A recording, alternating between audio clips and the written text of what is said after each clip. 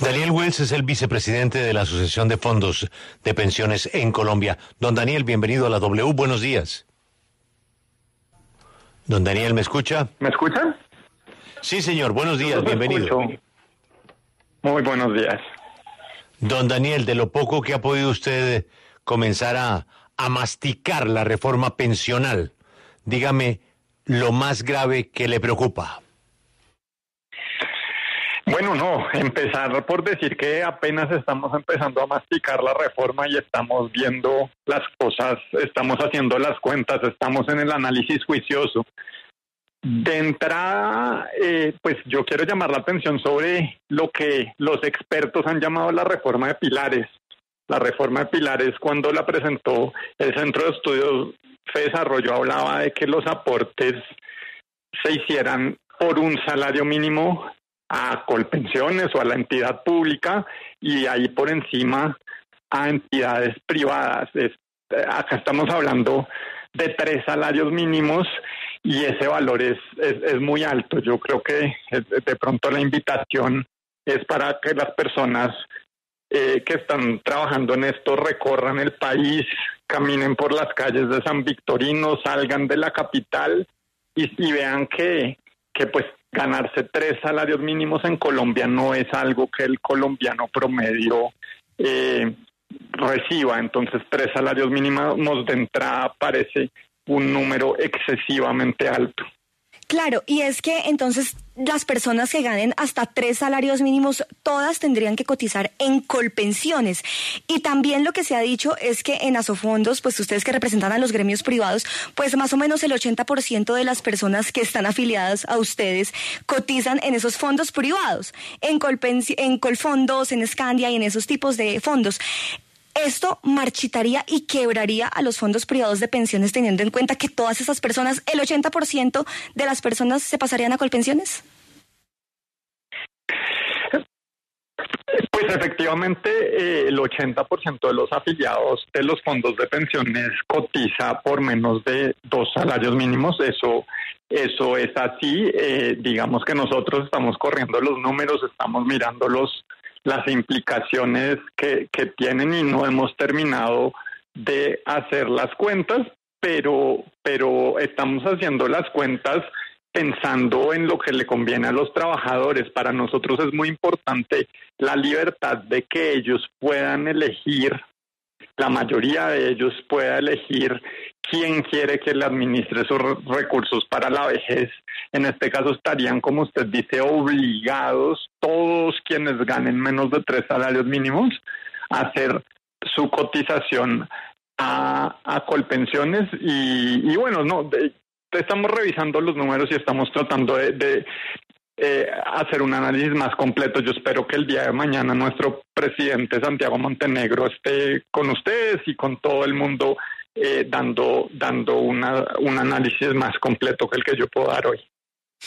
Quiero que hablemos de la creación eh, del Fondo para el Ahorro, porque una de las preocupaciones que había frente a la reforma pensional es eh, el impacto al mercado de valores y adquisición de TES, que hoy eh, está, digamos que en buena parte impulsado por los fondos privados de pensiones. Por eso le pregunto, ¿la creación de ese fondo previsto en el texto de la reforma o el borrador de la reforma pensional alivia un poco esa preocupación? Ahorrar para, para el futuro es fundamental en el tema de las pensiones. Eso, eso es un punto fundamental. Dicho eso, también es importante saber cómo se ahorra y quién decide eh, en qué se ahorra. No, no, los ahorros no pueden estar dirigidos a financiar el gobierno, por ejemplo. Ese no es el objetivo de ahorrar. El objetivo de ahorrar es construir capital buscando las mejores alternativas para que ese ahorro crezca y quién, el gobierno corporativo, quiénes toman las decisiones de inversión. Eso debe estar separado de la política. A mí personalmente me preocuparía mucho que sea el presidente de Colpensiones el que diga se, se invierte en esto, se invierte en esto otro. Eso tiene que ser cuerpos profesionales despolitizados pensando en el bienestar de los trabajadores y en que sus ahorros pensionales crezcan con el tiempo. Sí, en el, pilar, en el pilar semicontributivo se habla también de la entrega de una renta mínima a las personas que pues no se pudieron pensionar, pero tienen ahorros, pues bien sea en Colpensiones o en los fondos privados. Más o menos de cuánto debería ser esa renta, porque pues en el borrador no dice, usted más o menos de cuánto consideraría que debería ser esa renta. Se ha hablado de una renta por el valor de la línea de pobreza extrema. Eso solamente para los adultos mayores que están en condición de pobreza. Entonces eso tiene la característica de sacar de la pobreza a unos adultos mayores que son pobres. Nos parece, digamos, eso coincide con la propuesta que hemos hecho desde Asofondos desde hace varios años, desde hace muchos años. Entonces, un apoyo igual al valor de la línea de pobreza nos parece que, se, que está justificado. Y hay que ver de dónde salen los recursos. Si estamos haciendo los números y viendo que, que pagar ese apoyo eh, es que es loable, no, no afecte el ahorro pensional del resto de los colombianos. Estamos en esa. A me da pena eh, no darles una respuesta definitiva, pero pero estamos en el ejercicio juicioso con nuestros economistas, con nuestros actuarios de hacer las cuentas de la manera más rigurosa posible. Pero se puede concluir que de 10 pensionados, 9 irían a colpensiones y por consiguiente el eh, ahorro que a usted le preocupa desde el punto de vista de las inversiones, pues prácticamente se lleva todo el sistema. Sí, así es. Con, con esta propuesta de, de, tres, este, este número es muy importante. A, partir de qué monto se hacen las cotizaciones a, a, los fondos y se invierten y se ahorran. Tres es un número muy alto porque no corresponde con la realidad del país. Uno, uno a veces de pronto en las oficinas del Ministerio de Hacienda o del Ministerio de Trabajo se despista y cree que tres salarios mínimos para un colombiano promedio es un ingreso, digamos, eh, normal. La verdad es que la gran mayoría de los colombianos, la enorme mayoría de los colombianos tiene ingresos más parecidos a un salario mínimo o a dos salarios mínimos. Y creo que, creo que hay que mirar el país en el que vivimos. Pero mire, como usted dice, tienen que estudiarla a fondo, pero le quiero preguntar lo siguiente. En este momento hay varias reformas muy complejas y que han recibido muchos cuestionamientos, como la reforma de salud, eh, incluso la laboral, pero he escuchado en general, y quiero ver si usted coincide en eso, que por lo menos el punto de partida de este proyecto de reforma pensional está bien, o sea, que es un, texto que, que, admite la discusión y que, y que puede ser prometedora esa discusión. ¿Usted lo ve así? A ver, digamos que frente a lo que se había dicho, hay algunas medidas que son distintas a las que habían dicho, se habían dicho antes, que dan alguna tranquilidad. Pero yo tengo que hacer las cuentas y ver si los números cierran y si esto es responsable con el país. Yo no puedo darle en este momento la, la respuesta concreta, pero eh, Santiago Montenegro, que es el presidente de Asofondos, estará, una vez terminado el análisis, respondiéndoles esa pregunta eh, a partir del día de mañana.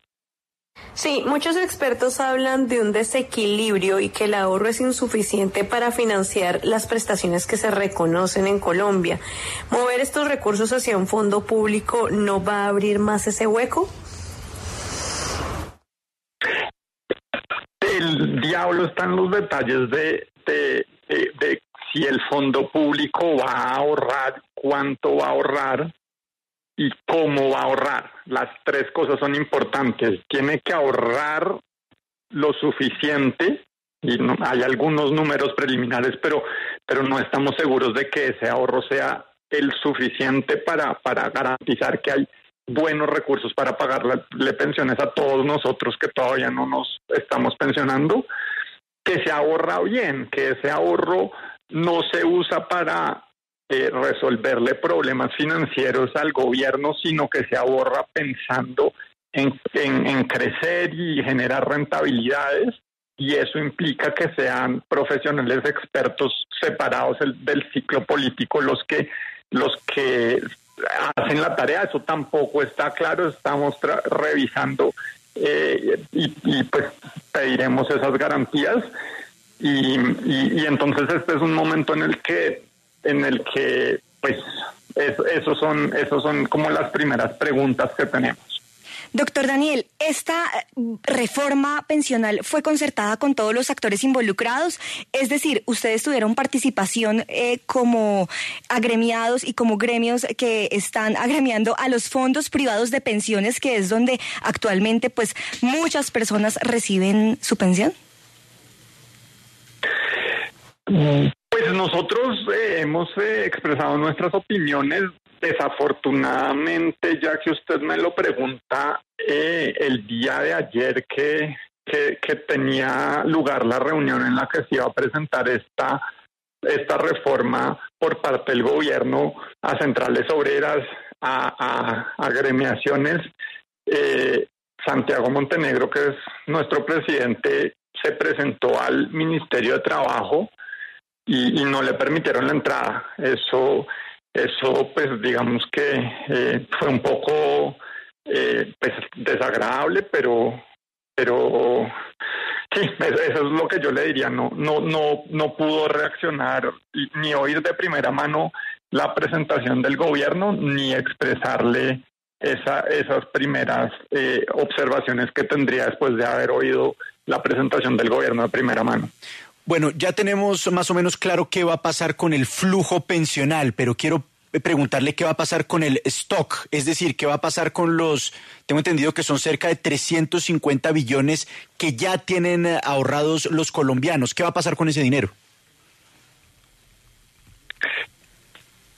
El borrador que tenemos, y es un borrador, dice que esos recursos estarían en la cuenta del, ahorrador hasta la edad de pensión y a la de pensión se trasladarían al, al fondo público, a Colpensiones, que es cuando se gastan. Entonces quedan, quedan preguntas y quedan detalles. Hay, hay un fondo importante que es el Fondo de Garantía de Pensión Minimal en el que hacen los, los trabajadores sus aportes solidarios y ese es otro stock, eso es otra cosa de las que ya está ahorrada sobre las que hay preguntas en este punto. Entonces, pues nada, más preguntas que respuestas a, esta hora. Es Daniel Wills, vicepresidente de Asofondos, y gracias por habernos dado sus primeras visiones de este borrador de reforma pensional que tendrá que llegar al Congreso de la República para ser discutido. Un feliz día. Feliz día para ustedes y muchas gracias por el espacio. Acompáñenos en el canal de YouTube arroba Julio Sánchez Cristo Oficial.